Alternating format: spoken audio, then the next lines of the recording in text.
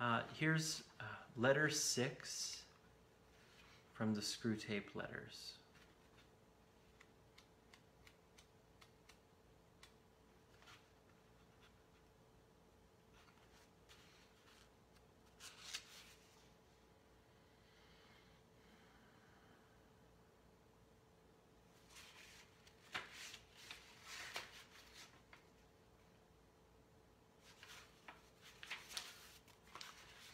Chapter 6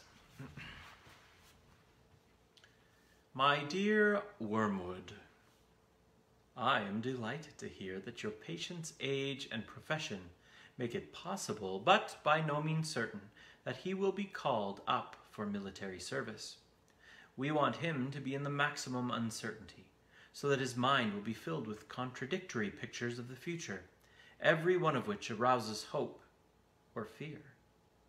There is nothing like suspense and anxiety for barricading a human's mind against the enemy. He wants men to be concerned with what they do. Our business is to keep them thinking about what will happen to them. Your patient will, of course, have picked up the notion that he must submit with patience to the enemy's will.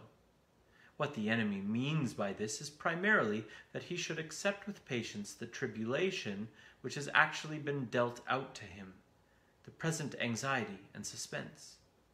It is about this that he is to say, Thy will be done, and for the daily task of bearing this, that the daily bread will be provided. It is your business to see that the patient never thinks of the present fear as his appointed cross, but only of the things he is afraid of. Let him regard them as his crosses. Let him forget that, since they are incompatible, they cannot all happen to him, and let him try to practice fortitude and patience to them all in advance.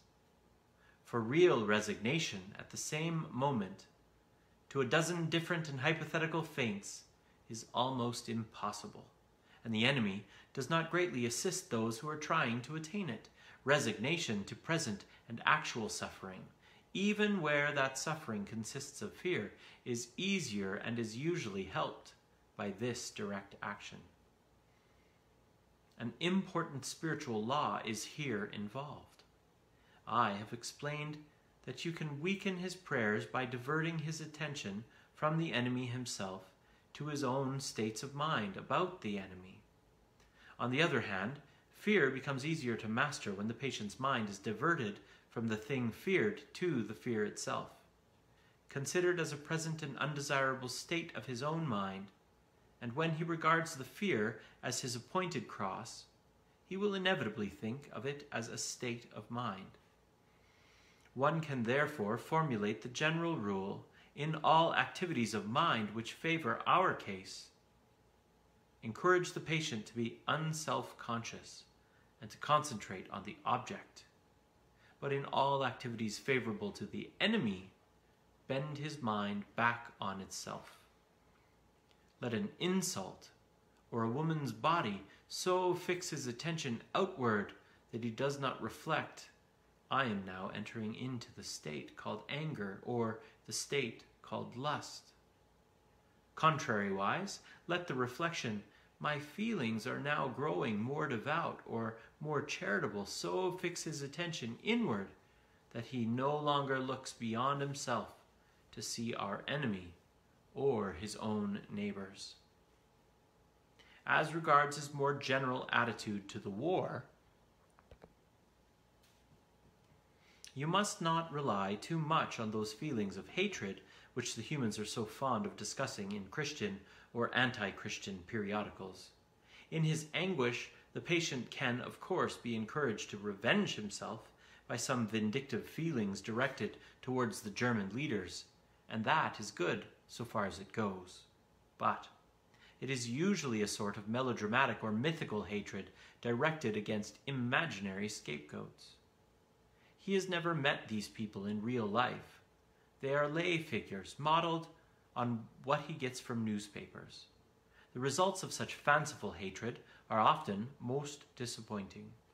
And of all humans, the English are in this respect the most deplorable milksops. They are creatures of that miserable sort who loudly proclaim that torture is too good for their enemies, and then give tea and cigarettes to the first wounded German pilot who turns up at their back door. Do what you will, there is going to be some benevolence as well as some malice in your patient's soul.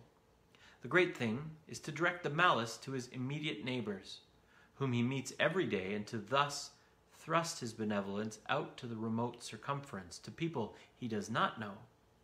The malice thus becomes wholly real and the benevolence largely imaginary. There is no good at all in inflaming his hatred of Germans if, at the same time, a pernicious habit of charity is growing up between him and his mother, his employer, and the man he meets in the train.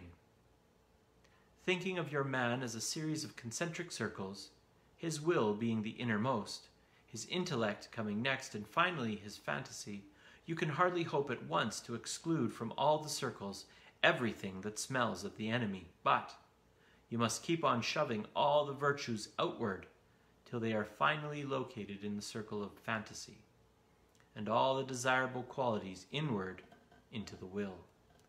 It is only insofar as they reach the will and are there embodied in habits that the virtues are really fatal to us. I don't mean, of course, what the patient mistakes for his will, the conscious fume and fret of resolutions and clenched teeth, but the real center, what the enemy calls the heart. All sorts of virtuous, all sorts of virtues painted in the fantasy or approved by the intellect, or even in some measure loved and admired, will not keep a man from our Father's house. Indeed, they make him all the more amusing when he gets there. Your affectionate uncle, Screwtape. Good night, friends. Good night, Heidi. I'm sorry to hear about your truck. I take your prayer earlier to mean that um, the decision came and it was written off. I know you're really hoping for a different uh, resolution there, so have a peaceful and blessed night, and we'll connect with you all tomorrow night. Good night.